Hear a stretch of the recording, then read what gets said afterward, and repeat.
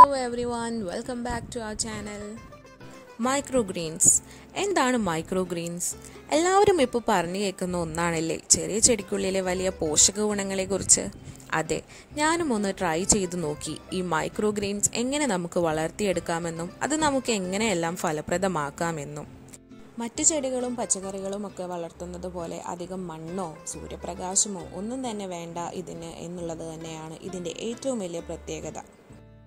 എന്നാൽ പോഷക നിലവാരത്തിന്റെ കാര്യത്തിലാണെങ്കിലോ മറ്റേത് ചെടികളെക്കാളും ധാന്യത്തെക്കാളും എത്രയോ ഇരട്ടി ഗുണവത്വമായ ഒന്നാണ് ഈ മൈക്രോ ഗ്രീൻസ് ചെറുപയർ വൻപയർ കടല ഗ്രീൻ പീസ് മുതിര എന്നിങ്ങനെ പലതും നമുക്ക് മൈക്രോ ഗ്രീൻസായി നമ്മുടെ വീടിനകത്ത് തന്നെ വളർത്തിയെടുക്കാവുന്നതാണ്.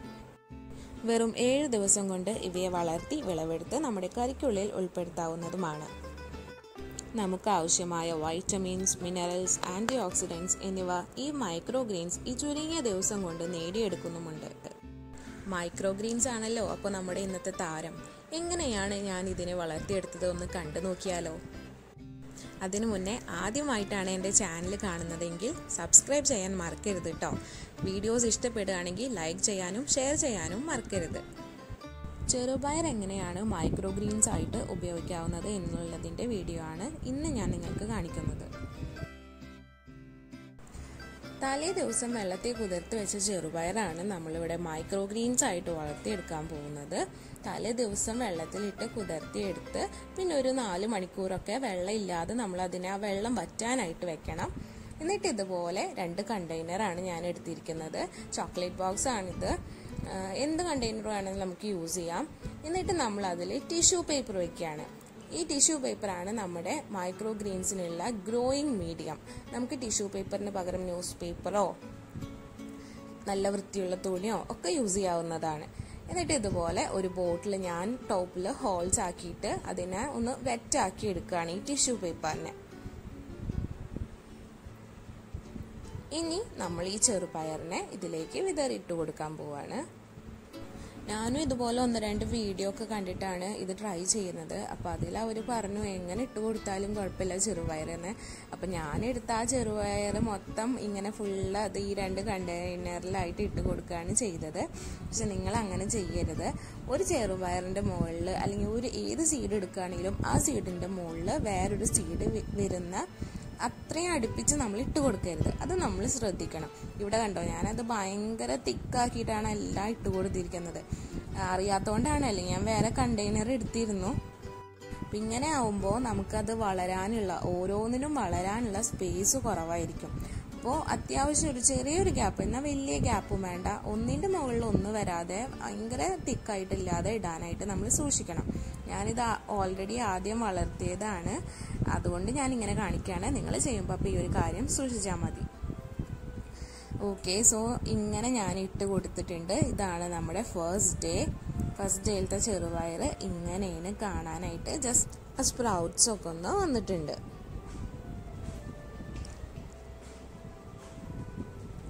ഇനി നമുക്ക് ഇതിനെ ഒന്നും കൂടി നനച്ചു കൊടുക്കണം.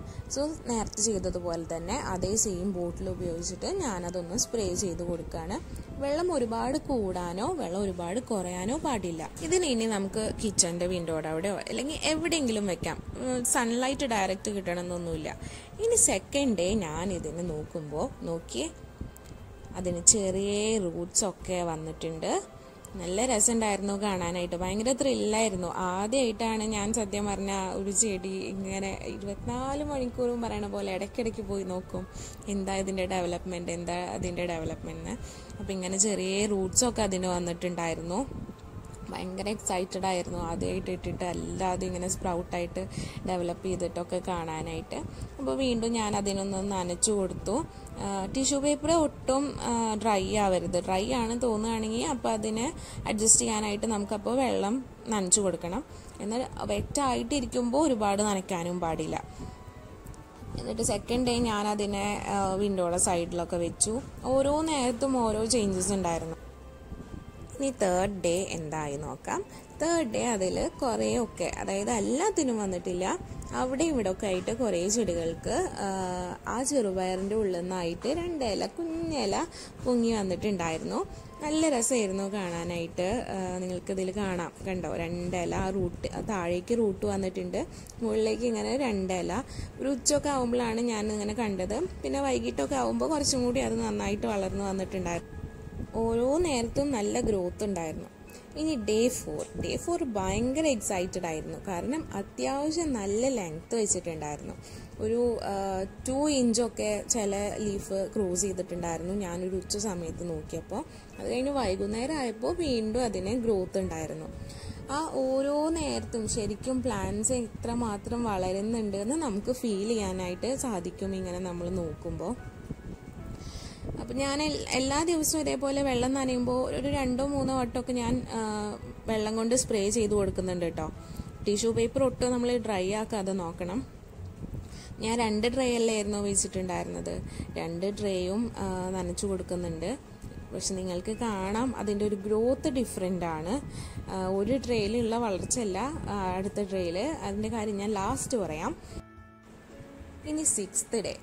സിക്സ്ത് ഡേ ഒരു ത്രീ ഇഞ്ച് അല്ല ഒരു ഫോർ ഫൈവ് ഇഞ്ചിന്റെ അടുത്തൊക്കെ ലെങ്ത് ഉണ്ട്. ഫോട്ടോയിൽ അങ്ങനെ വിസിബിളായിട്ട് കാണാനിട്ടാണ്. അത്യാവശ്യം നല്ല ലെങ്ത് തന്നെ ഉണ്ടായിരുന്നു.